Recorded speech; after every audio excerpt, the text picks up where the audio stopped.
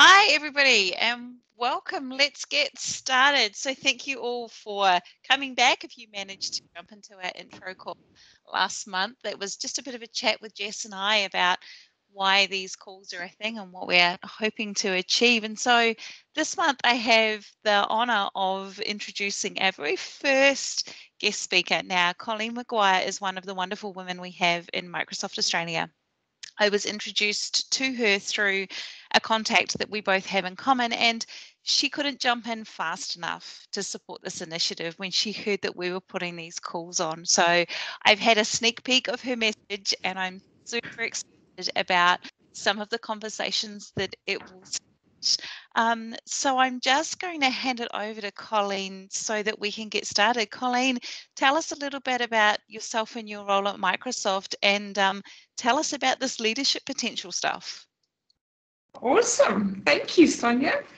Um, yeah, good morning. I don't know if it's good morning or afternoon, wherever you are. Um, good, whatever you need. Um, it's a real honor for me to just share some of my thoughts and ideas today. Um, so yeah, my name is Colleen Maguire. I have um, I am a woman in tech. I started off in tech many, many years ago. I'd give away my age if I told you that I started off as a COBOL programmer in the late 80s. And um, yeah, always been passionate about technology. Moved away from that and spent a significant portion of my life around project and program management and landed up joining Microsoft um, in 2008 um, and have loved have loved every every year that I've been here. It's been amazing. Started off in services, and uh, the last couple of years I've been working for our specialist sales um, unit, um, managing teams across modern workplace. Um, my part-time job when I when I find time and and I do find quite a bit of time for is leading women in tech for Australia. Um, I, it happened by chance. I put my hand up and I said, "Oh, what's this all this diversity stuff here? I'm pretty keen. What can I do? What can I help?" And two months later, found my name on a slide, and I thought, "Oh my goodness, I have no idea what what I need to do." So I was given the pillar of women in tech, and I thought, "Okay."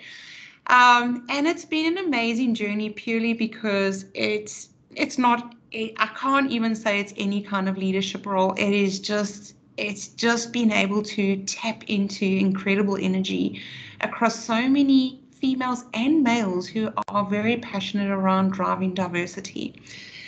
Um, my passions are my husband does get nervous. He says, "Oh, are you are you going to turn into a, a women's liver? Are you going to be an extremist? What are you? And I said, no, I'm just really passionate about helping people along their journey, no matter what where you come from. So my passion really is is diversity um, as a, as a general. Um, couple of people I know on the call. Um, great to see your faces. And today I've just put together, it really is my perspectives, my stories around um, leadership and things that have worked for me um, and things that I've figured out along the way. I'd love it to be an interactive session, so please, you know, jump in. I've asked Sonia to maybe um, make me pause and give some more examples if I'm rushing through a little bit too much. Um, yeah, so open, please ask questions as we go as I share my story. Now, Sonia, I was going to share my deck and I'm probably, I did upload it, but I didn't check the video. Oh, okay. Oh, okay. So let me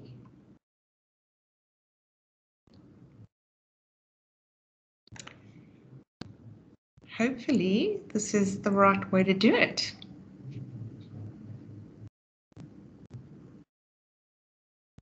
Colleen, it's Colleen, So when you share,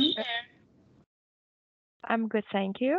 So when you share, you need to make sure that you click on include uh, system audio. Otherwise, we can't hear the vid uh, the sound on the videos. I've got no videos, but can you see and you can still hear me, right? Yep, that's perfect. Awesome. Okay. So I'm going to talk to you a little bit around my philosophy around maximizing your leadership potential. Um, I am no expert, I am no author. Um, these are just things that I'm very passionate about and things that have worked for me um, along my journey. So I've already introduced myself, so thank you very much for having me today. So, who am I? Right. And I often talk to this, especially with people in my team that I am managing, or potentially even people who seek out for mentorship, right? And it's about developing a deep understanding of who you are. And it's taken me years to really get to a point where I truly understand who is authentically Colleen. And with that has come a lot of questioning. There's been a lot of actually things that I thought I wanted were actually maybe things that other people were, and I felt that I had to be similar, right? And um, discovering who you are is very much around where, where your passions lie and what is authentically you. Now, I don't know how many people feel that they have reached that stage. But if you want to be an authentic leader, you need to be an authentic person yourself. And to be authentic, you have to understand who you are. Who, what are your passions? What are your drivers? What, what lights up the fire for you? Because every one of us are totally different. And when I say that, I know that I am totally different from even just my husband, right? We are motivated by incredibly different things. And it's being able to anchor on what is it for you, but also understand that not everybody is the same.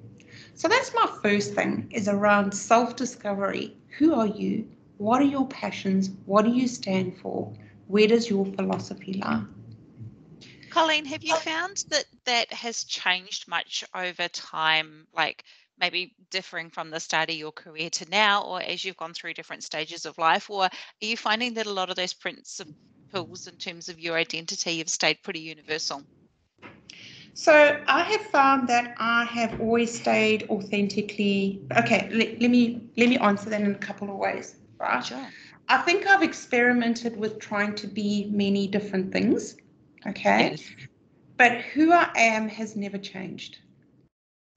There are times where in roles or situations you need to dig up a different persona to drive a, a particular result, and that's okay, right? As long as you are not living in that persona for too long, right? And and I can say this in any situation. If you are in a friendship and you feel you feel like you need to live up to expectation, it's exhausting and it's draining. If you're in a relationship trying to be something that you're not, it's exhausting and draining. So it's it's about it's about finding finding what is authentically you and being comfortable with who you are. And there's been times in my life where I haven't been comfortable with it. I felt that there was pressure on me potentially. I am, and you'll see my next slide, I'm a I've class I classify myself as a gardener. Where I came up with that, I have no idea, and I'll tell you the story.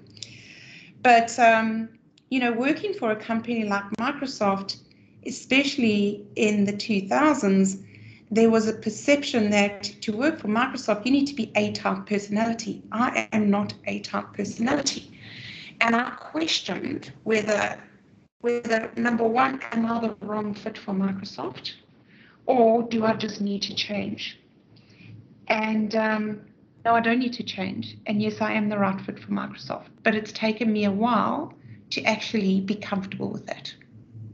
I, I love that point because I think you're right. Not only a company like Microsoft, but our tech industry in general comes with so many stereotypes and perceptions of what we think a person looks like who is successful in that industry or in that particular role. And it ties in really nicely with the talk that I'm doing at Microsoft Ignite in Florida this year uh, that will also be recorded about being an introvert in this industry, which I know we have a lot of, but we've got introverts that have got uh, very public profiles and get on stages and speak to thousands of people as well. So it's lovely to to actually address that point that the preconceived ideas or the stereotypes we have about I've got to be this to work yes. for that company or I've, I've got to be this kind of person to do that role um, very often isn't the case when you talk to people who are actually successful in those places.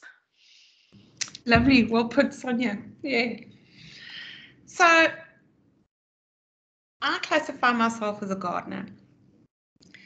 And um, i'm a proud gardener and when I say why do I why do I look at gardening, there's just so many things about gardening that actually resonate with me as a person, with me as a manager, with me as a peer. Um, and that is number one, um, you plan your garden, but you are patient and you let it grow and you tender to it and you nurture it and you feed it where it needs feeding. But you also understand that th- certain things thrive in different areas. So if it's not thriving, you may move it, but you also may cull it and you may weed it out, right? Um, but the objective is the garden, the garden that you want to create. Now, I, I, I, am a I'm a patient person, you know, and I think it shows in my, my history and years of project management is that, you know, I, I don't need instant gratification in my job. I don't need every day to feel like i I'm ringing a bell. It's just not me. I have patience, I can nurture, and I can grow. So, the, now not everybody's a gardener, right? That is just who I am. And I'm going to pause there for a little bit just to get a sense of, I mean, how many people could identify themselves with a gardener? But also, I'd love to hear perspectives of, well, what could you identify yourself as? Have you ever thought about it?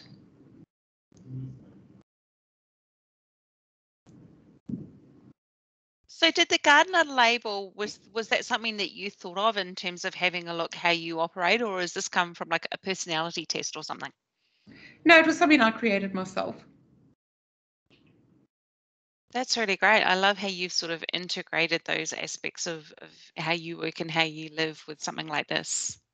Yeah. Oh, Susan. Susan's an archaeologist. She digs for information. I love it. And look, oh, I am I am not the kind of person who digs for a lot of detail. So we need people like you, Suzanne, in the world. And I love that you know in communities like this we do find people who are different than than we are and have different skills because when we can bring all of those powers together we make a really strong community absolutely. I love the archaeologist that's a that's a really good one.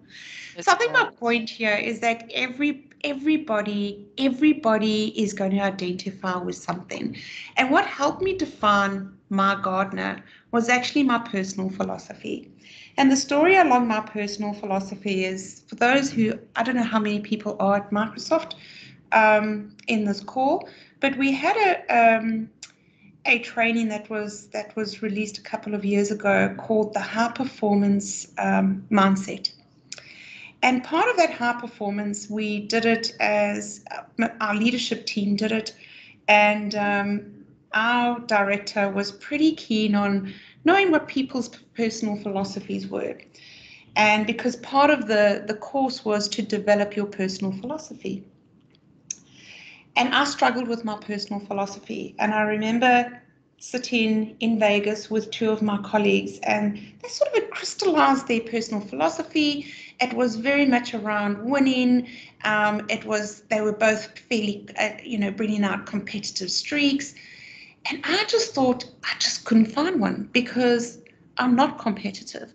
I'm I'm probably very tough on myself and I have very high expectations of myself, which propels me to succeed. But I'm not competitive in terms of I want to beat somebody or I want to win. And I sat on the bus between sessions at Ready two years ago and I was feeling pretty low around, well, actually, what is it, Colleen? And how, how do you belong? How do you anchor? How do you anchor into a sales organization, right? When you can't even anchor on sort of driving results and driving an outcome. And funny enough, uh, there's a lot of things that have come together because it's actually not about driving results, it's about driving success. And they are very, they're two very different things. Success is something that you can feel, whereas a result is something you could potentially tick off. And um, it's definitely the success that I want to drive. But my personal philosophy landed up being um, to nurture every moment into a lifetime of memories that I'm proud of. And that is where my garden story came in.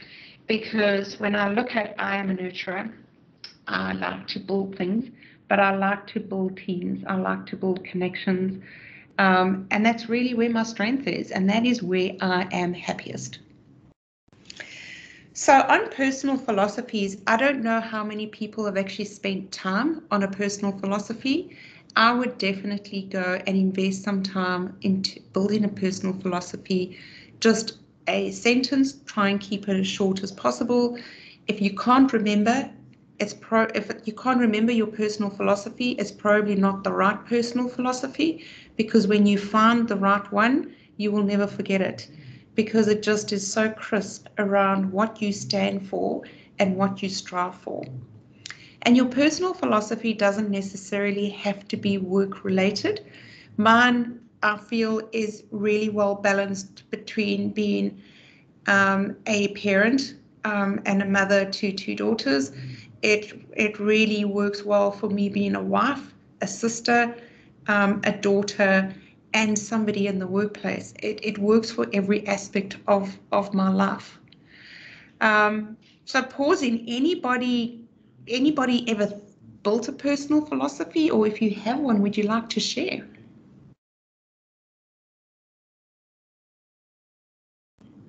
You're a very quiet crowd. You're making me do all the work today. Look, it's something I've never actually really thought of.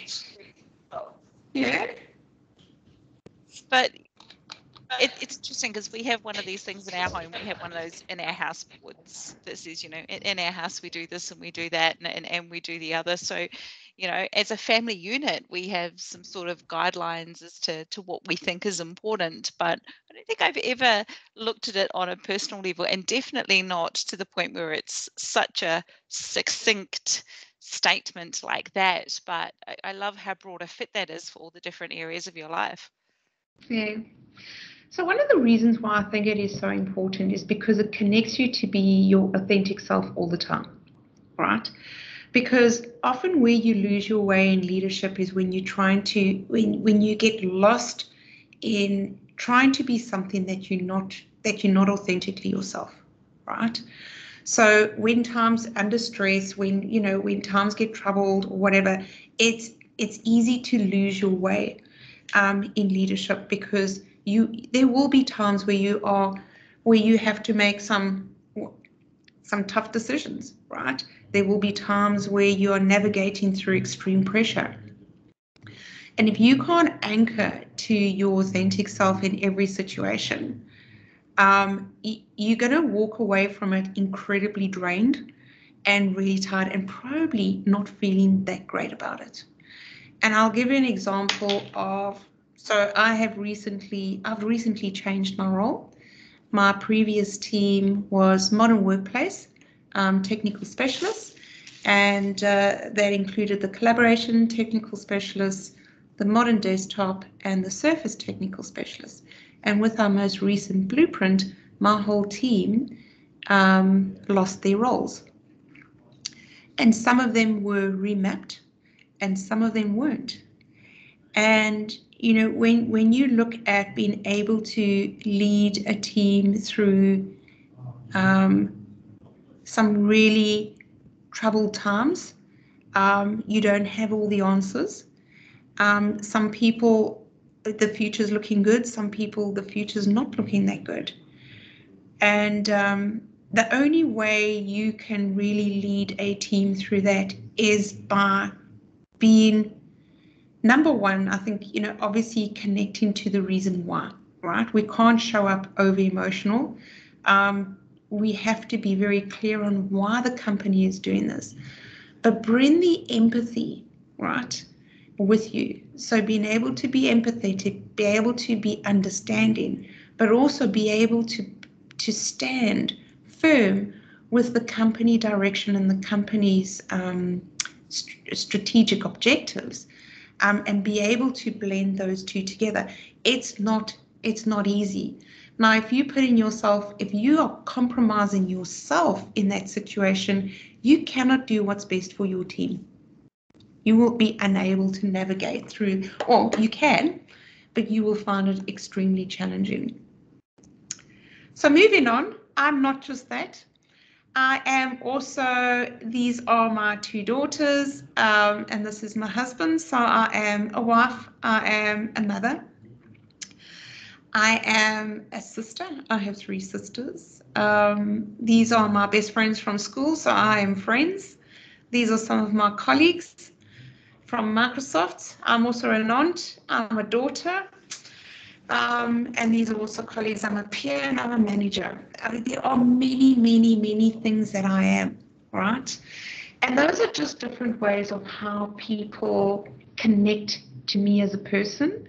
But I think the message that I wanted to say is I still am Colleen whether I'm a mother or whether I am a wife or whether I am a peer or a manager at work, I am still always Colleen and I'm still anchor to the same philosophy and the same values and the same passions, no matter where I show up.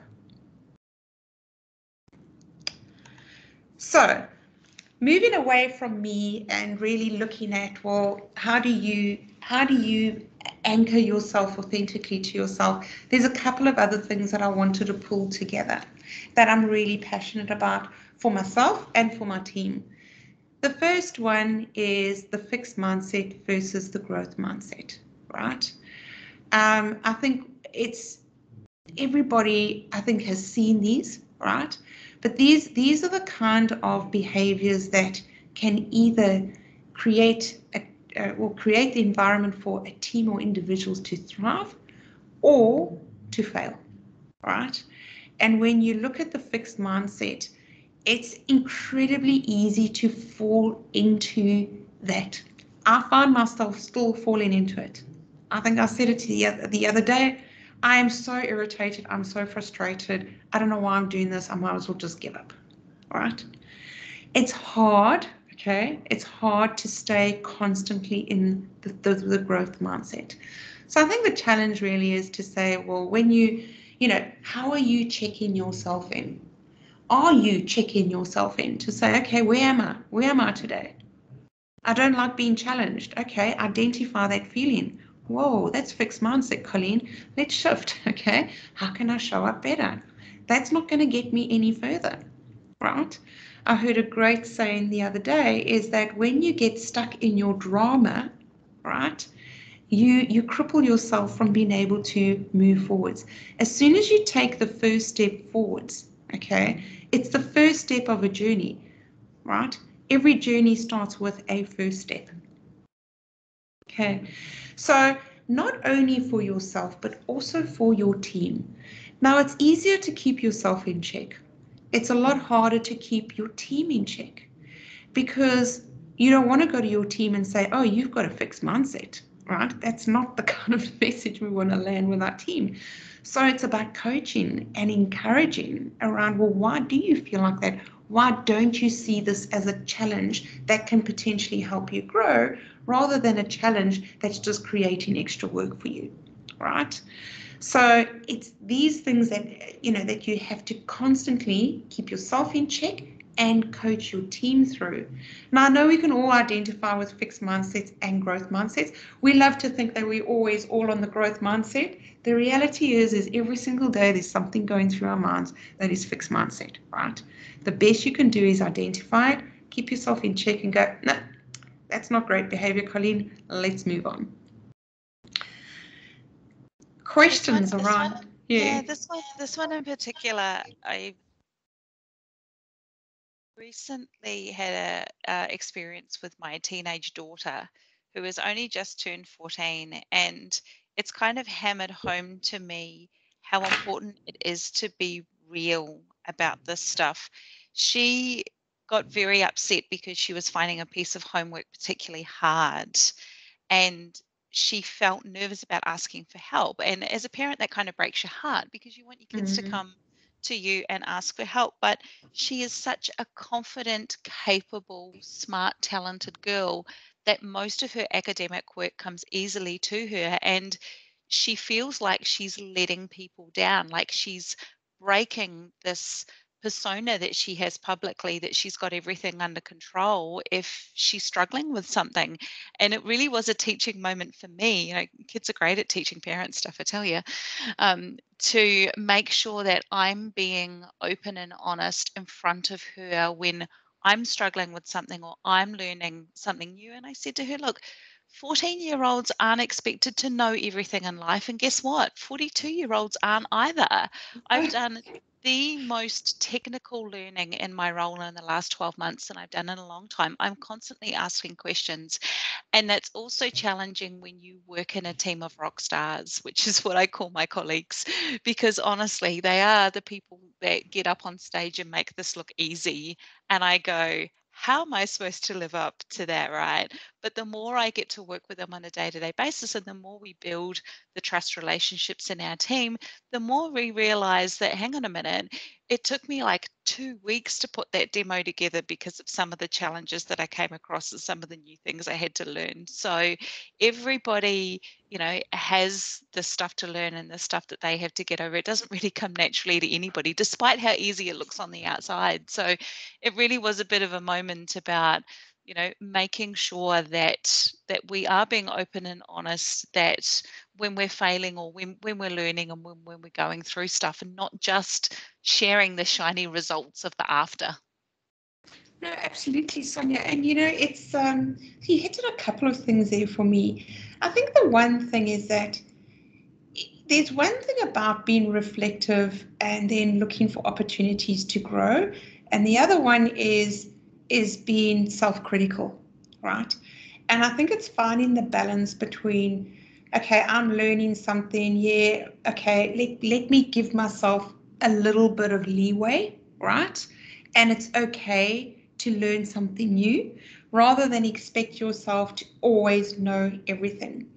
Um, and I think we often, I think as, as women, we often expect ourselves to be, you know, to be perfect at what we do right? Um, and to be expert. So we are, you know, with doing that, we are we limiting our potential, right? We're limiting our potential to grow um, into or grow our skills and grow our experiences. But the other thing that you tapped into, so I was asked to do a, um, it was it was deliver success, and it was a session at our leadership conference a couple of weeks ago and I was asked to co-present with Eric Swift, who is one of our directors, and I was I was pretty nervous. I was I was pretty nervous, right? And I thought, oh, you know, he's such a fluent speaker. It's in front of, you know, Steve Worrall and all our execs. And I thought, whoa. I just thought, whoa, what happens if I, you know, if it doesn't land well? And um, I did it. And Ingrid, our HR director, came up to us and she said, Colleen, that was amazing. She said it was just you. And that's when I suddenly realized that I wasn't asked to present because of my presentation skills. I was asked to present because of me. And it brought something different and it brought a different perspective. And I think that's one thing I need to constantly remind myself is that just being me does have something, right? Because we're all different. We all have a different perspective. We all have a different story to tell. So it's not about benchmarking. If you're a rock star, you know, you all have to know, you know, X amount of depth and your technical intensity. And it's, yes, those things, those, those, those things that are your trade and your skill are absolutely important. But it's but it's the things that make you uniquely you, right? And having the right, and, and that's this is where the growth mindset comes in as well, is it's just the right attitude, right? Just how you show up around, you know, if you think of people you want to interact with, if somebody's always saying, oh, don't do it that way, and oh, you know, it's always half full, and they're not great people to be around. They drain your energy, right?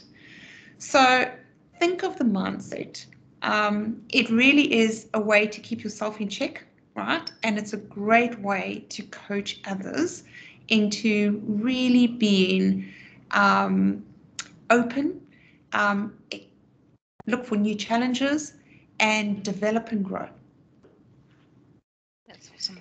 Sonia, I know you and I have done a lot of talking. Anybody else want to jump in and share an experience? Yeah, feel free to unmute yourself, Mike.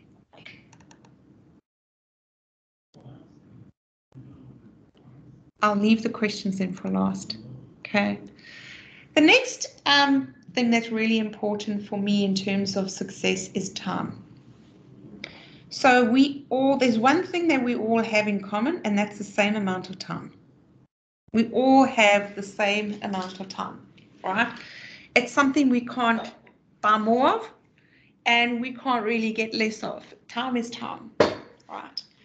So one of my learnings through my life has been how do I optimize my time to best suit myself and what is important to me. And as I've as I've got a little bit older, I think, you know, with some maturity, you do stop worrying less about other people's agendas and you be, do become a little bit more focused around what are the things that are important to you. Now, I'm not going to share the, the video, but I will share the link. It is in the deck. Um, it's got some really crude language in it, but it's a video of about 20 minute video um, about um, the magic of not giving an F. And in summary, the story goes around a, she shares a story around um, being very unhappy where she was in her job and decided to pack it all in um, and really stop doing all the things that she didn't feel like doing, right? And she said it's a little bit like having a F budget, right? So you've got a budget of time. There's only so much that you can do with that time. And you need to make you need to make those decisions around where you want to use that time most effectively because you only have so much. You can't create more, it's not going to happen. And once you've got, once you can prioritize your time, the biggest challenge with prioritizing time is being able to turn around and say, those are the things that I'm not going to do because we have a compelling um, need to satisfy and please others, right? And I think us ladies um, have got a, a, a bigger chunk of that in us than than some of our counterparts, right? Where we we we feel that it's a that we often feel there's a duty. There's a duty to do things um, that potentially we don't want to do or we have no interest in doing. And if you watch the video, the beauty of the way she tells the story is around just being nice when you say no. And saying no is okay. Um, she uses the analogy of going to an office party, a farewell of somebody that you don't particularly get on.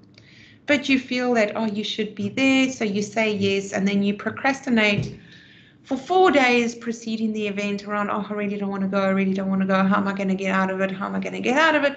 And then probably half an hour before the event, and I have done this many times in my life, um, you make an excuse and you say, oh, you're not feeling well, or you do something like that, right? And you try and get out of it. That's not a nice way of saying no. And then you should feel guilty Right? You should feel guilty about laying down because you made a commitment, right? And you you indicated yes that you were going to invest this time. You you made a commitment to somebody. So the trick is how do you say no and be okay about it and actually say no nicely, right? And it takes a lot of practice, and I'm nowhere near it. I'll I'll say that this is probably still something I have an incredible journey still to get through, right? Um, but if you, there's certain things that in your life that is going to be a must, right? Okay. If you want great set of teeth, you're going to have to brush your teeth. You're going to have to brush your teeth, right? There's certain things in your job that are a must, right? Um, for you to be successful and also for, for you to show up um, as a as a contributor towards the organizational success, right? But this is then, there's still a lot of time that you have outside of those things that are have to do's, right? So when you say no, you just say no nicely. Thank you very much, but um, um, I won't be joining you. And if somebody says, why not? You could say, well, I be I prefer to be spending that time with my children on a Thursday evening. Or, you know, I've got a book that I would like to finish. And and that's it, right? Um, I know we all feel guilty about saying no. We feel like if somebody asks us to do things, something, we, we either need a really good valid excuse.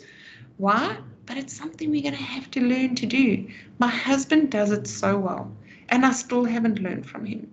He will just say, no thanks. And that's it. No thanks. The next one is holding people accountable. This has been something that I've used for many years. And if you can't hold other people accountable and they don't know that they're being held, held accountable, they will let you down. Okay? So, a critical thing in leadership is being very specific around your expectation, right? And holding that person accountable. We tend to do this a lot better in our personal lives than we do in our business lives, right? we tend to have a very open um, with with our partners. Um, if you are in some kind of relationship, generally you have, and Sonia, you you spoke to sort of a frame that you use with your children around. Well, these are the things that we commit to. These are the things that we subscribe to. And when you when you are in a relationship, you generally have a common understanding of what are the boundaries and what are you holding each other accountable for. Often in business, um, we are holding people accountable, but a lot of it is unspoken and not necessarily um, um, unknown, right? So we have expectations of people, but they don't really know what that expectation is. So one of the things that I do is I'm very clear around expectations. And even though as clear as you can be in expectations, there's always going to be something that is just you didn't know you wanted it until you didn't get it, right? And that's okay because that's how humans work. But holding people accountable, being able to go very simply, hey, Sonia, are you good? Um, to present next week, Wednesday. I'll check in with you on Tuesday, um, but can you have it done? And Sonia asked me to present this, and I did leave it for the last minute. I admit it. Um, that was my choice. Um, so there's no guilt, but I made a commitment and I will follow through. But she held me accountable. Um, it was in my diary, it was communicated She'd phoned me, we'd had the discussion. She was very clear in terms of what she was expecting me to do. So I need to show up. And if I hadn't sh- shown up, right, it's absolutely in Sonia's um, remit to be able to say, actually, Colleen, you let us down. Um,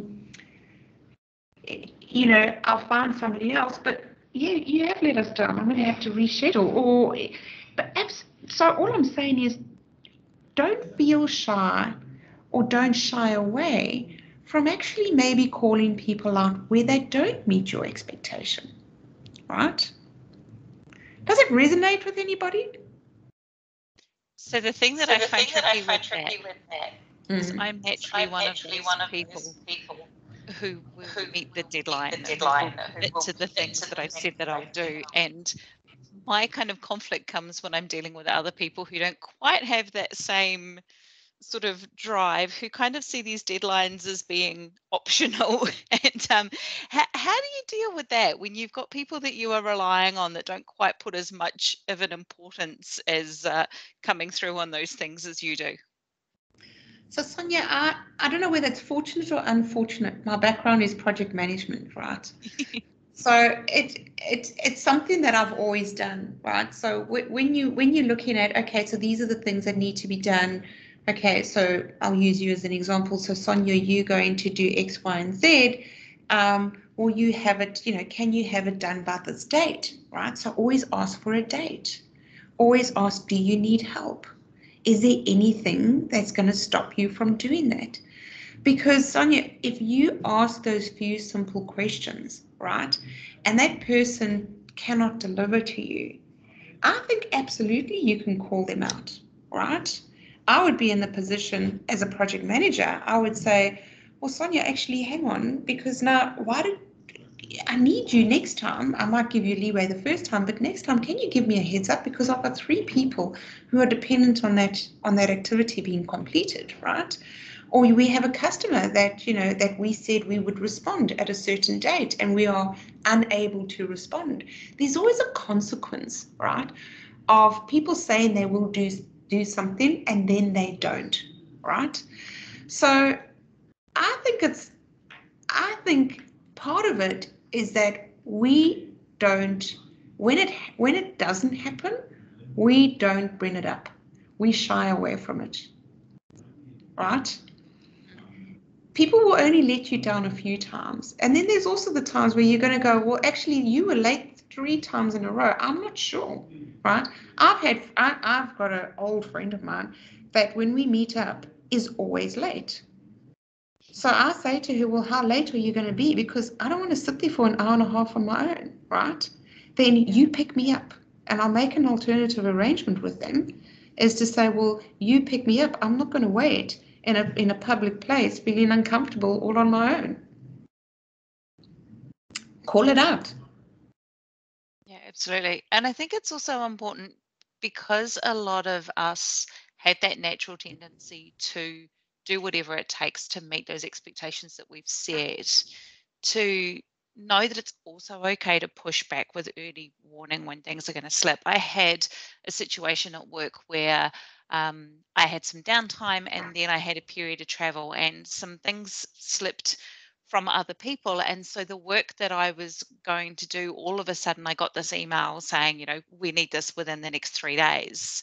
And I pushed back and I said, I'm not going to be able to do that. This is what I've got on my plate at the moment. And I'm very sorry, but that's not a mm. realistic deadline for you to give me three days' notice. So I think that there is a flip side to that for us as well to be able to say if if you have people that are imposing deadlines on you that that aren't realistic and you know upfront or you have something else come up in your world, sometimes it's a case of that's fine, but I'm also working on this, this, and this you know what do you think needs to be the priority here? Because i've learned through experience that i'm personally really good at saying that i can do something based on whether i'm capable of doing it not whether i've actually got the capacity to do it. Um, and it's a really good recipe for burnout when you start to committing to too many things because you know that you're capable of doing them and you kind of forget that you only have so many hours in a day and a whole bunch of other stuff you've said yes to as well. So it's, yeah, it, it's also important to communicate yeah. with other people when you're not going to be able to meet those deadlines and just go, look, this is what's going on. Yeah. yeah. And um, I suppose that goes back to your time, right? How are you using your time? Sure. So, yeah. Okay, I'm going to move move on. Um, I've got two more, right? The next one is stop comparing, right? This took me a while, and and I'm I'm going to share on a couple of levels around stop comparing. I mean, I us women can walk into a room and we go, oh no, I'm underdressed, or oh, you know, my, my shoes on, on aren't as nice as that person's, or you know, I'm the only woman in in the room, or always comparing, right? And um, I think there's a time where you actually just have to say stop, just stop. You are who you are. Be proud of who you are. Don't compare yourself to anybody. You have something that is beautifully unique, right? So when you go in, you should be looking at yourself as something unique, not something that you're not. And often when we compare ourselves, we often start creating, I'm not this, I'm not that, I'm not, I'm not, I'm not, right? And it creates a negative around all. And that's where I think where a lot of the imposter syndrome comes in, is because you are comparing yourself. And just like Sonia, you said, you know, you work with some rock, you know, rock stars and rocket scientists and where I can guarantee you, you have got talents that um, supersede some of their, you know, their rock star brain, brain science, whatever they've got, right? Um, so yeah, just stop. Just if you can, just stop comparing. And if you feel like you're doing it, okay, reach out to somebody and just go, why am I doing this? Because you know what? you they they you will be 10 times more critical on yourself than everybody else. And if somebody is critical, right, if it's not constructive, don't listen to it. If it's constructive critical uh, feedback, great. You're going to learn something out of it, right? We all want to learn. But if it's not, just ignore it and carry on. So stop comparing. Okay, and then the last thing that I've got for today is my philosophy for success has been pick up a ball and run with it. You'll be surprised how many people will run after you and join in the game. And it's a little bit like if you look at a bunch of kids, right? As soon as one kid picks up a ball and starts kicking it in the playground, the kids flock and they all start playing. It's incredible um, how people will actually join you on your journey. Um, but you need to have a vision. You need to have the right mindset. You need to bring in energy and passion into what you're doing, and people will naturally follow you. Don't be concerned if the ball you picked up is the wrong ball, right? You can switch it. So don't be scared. Don't wait for, you know, is this the perfect ball to pick up? Just pick it up and run with it. Pick up an idea and socialize it. You'll be surprised what people are prepared to follow you for, right? And I'm going to stop there. So I finished a little early, but I don't know whether there's questions or I'm going to open up to everybody. I have a question. Thanks for the presentation, Colleen. Uh, so what's next for you? Because, In my career? Uh, yeah, because, you know, as a someone that uh, at your level. So I would like to hear your opinion around how you see or how you approach the next level for you or what's next for you. So that's a tough one, as and it's probably because I um, I love leading teams and leading people, but I sometimes wonder whether I really want to be as ambitious in some of the roles in Microsoft. I'm, I'm going to be very transparent, right? Um, I don't see a I don't see my path going into sort of like a director SLT level. Um, it's not the kind of game that I see myself playing um, which sometimes I do sit and think, well, then what is next for me? Um, I think what's next for me is I would love to get more into um, probably coaching teams, right? Not individuals, but coaching teams. Um, looking at how driving culture is something that I'm very passionate about. Um, but I'm not quite sure what the job looks like. I know the things that I'm interested in but I'm not quite sure what that job looks like. And I don't worry about it too much. And the reason why is because when you are doing things that you are really passionate about, right? People notice because you you will have a spark to you, you will have energy to you. People around you will notice. And those those those opportunities will actually come to you you just have to you have to be bold and you have to get out. And that's why i've finished off on pick a ball up and run with it right? If you want to be a leader be a leader right? Don't sit on the back of the bus.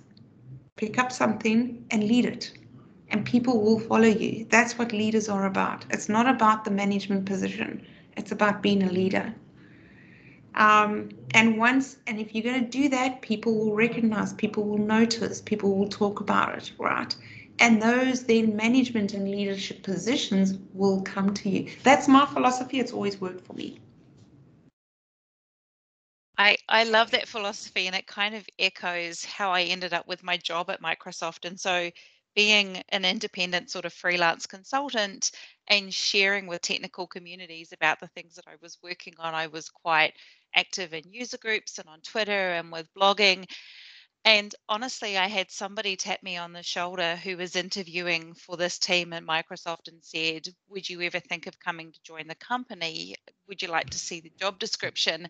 and one I just about fell over when I saw the job description, but Microsoft had always been one of those things sort of on my bucket list that, yeah, it would be amazing to get a blue badge one day, but I wasn't actively searching the careers website to find the perfect role for me. And when I did my first interview, with someone that I didn't know at Microsoft, they said, Oh, yeah, like there are a whole bunch of people here in Redmond who know who you are. And I'm like, I hope that's a good thing. And they're like, it's totally a good thing. So it's really, uh, it really echoes what you're saying about getting out there and doing the things that you love, eh, that you love and that you're passionate about. And it, it's amazing to see where that takes you and, and who notices and, and what lies ahead in your career that you would never have even thought of. Thanks for sharing your uh, your feedback. Can I ask another question? sure. Yeah, uh, because this is something that I struggle a lot. And when do you give up? Because sometimes you know you assign a task, and instead of you know going through that path, so you if, when you you know start saying, oh, it's not possible, so you might start to find a workaround. But if you don't know when to give up, it's getting harder and harder because you go deeper and deeper into something that it might not have a good result. So, so as it depends on how you look at it, right? You might give up on a task, but your ultimate goal is still your goal, right? Yep. And I don't think that's giving up. I think that's okay, well, that didn't work. Let me pick up something else, right? Because there's multiple ways to get to an outcome, right? So I think the, the big thing is, are you giving up on your goal or are you giving up on the task? If you're giving up on your goal, then I would say, well, are you shifting that or shaping that into something slightly different? That's not giving up. But giving up on a task because it's not working and it's not getting you to your outcome, I think is perfect. It's not giving up. It's about saying that's not working, okay, but this could work, so let me try that.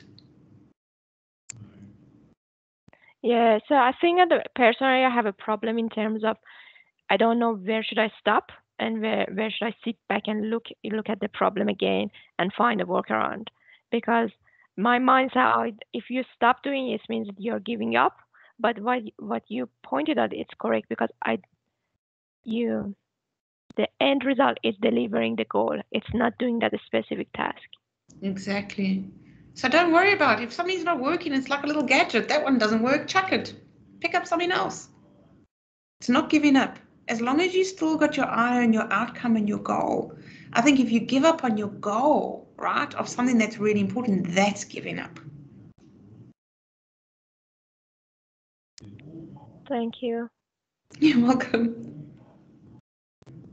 So Anybody from the chat, yeah, from the chat, Emily asked if there's a recommendation on how to discover or build your own personal philosophy.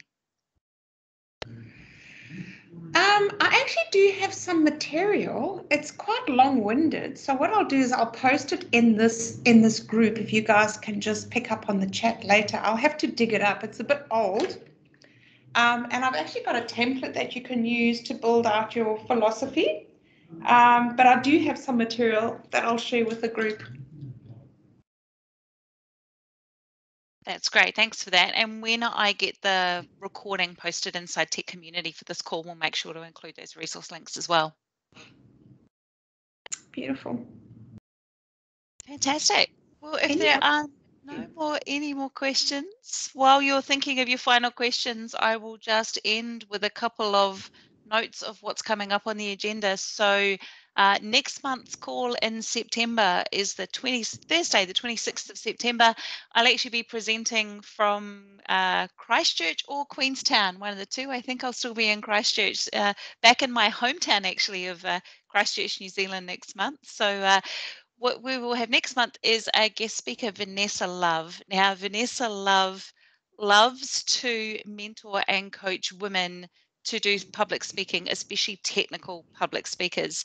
And so I bumped into her at an event the other day where someone she had been coaching was speaking for the very first time at an event, and she was super proud. So if you have thought about maybe whether public speaking or speaking at user groups or technical conferences is a thing for you, Vanessa has some amazing advice on why it's important to your career and how you can get started um, and some of the sort of preconceived ideas we kind of need to get over if, if we want to take a dip into that kind of space. Um, and also, while I'm in New Zealand, uh, if we've got anybody in the call that is in Auckland, we're looking at putting together a Women in Tech event on Friday, the 20th of September, up at Microsoft Auckland, uh, probably for a 5:30 p.m. kickoff. Um, just some networking and some nibbles, and a bit of a chat uh, from me about my career in IT. We'll probably talk about burnout and mental health. Um, we haven't quite de- decided the, the topics, so any feedback on that would be great. But looking to get some uh, women around Auckland, New Zealand uh, together to actually meet in person on the 20th of September. So stay posted and I'll send more of those details when they're confirmed as well. Emily, you're in Auckland. That's amazing. It'd be great to see if you could make it too. So if anybody else wants to pop in any events, Susan's just mentioned that she's giving a Women in Tech talk on October the 11th to the Lawrence SharePoint user group. Um, fantastic. That's great to hear, Suzanne. Uh, good luck with that talk. Um, and if there's any other events, just drop them in the chat that we know of. And uh, with that, if there's no more questions, uh, oh, great. Thanks, Az. The Girl Geek Sydney events, there's a link there for their upcoming meetup as well. So that's great to see. Um, any final closing comments, Colleen, before we close out this call? Um, I think just, you know, just be proud of who you are. You know, be your authentic self. Bring it, bring it to every part of what you do. And uh, yeah. And if you if you feel stuck, let me know. Fantastic. That's great. Look, I really appreciate your time today and, and the time that it would have taken you to put this material together. It obviously sounds like a topic that you very much speak to from the heart. So we we thank you for sharing your stories and your advice with us today. And thank you everybody for joining on the call. If you know people that couldn't make it today, watch out on Tech Community where I will post a recording as soon as we can get that up and available. Or uh, maybe I think this is probably a call that I'm going to come back to in the future when I'm feeling maybe a little bit of self doubt. Um, I, I, might need to come back and just remind myself about some of that amazing advice from Colleen. So, thank you very much, everybody. We will see you on the call on Thursday, the 26th of September. Have an amazing month. Bye bye. Thanks. Yeah, bye. Colleen, bye.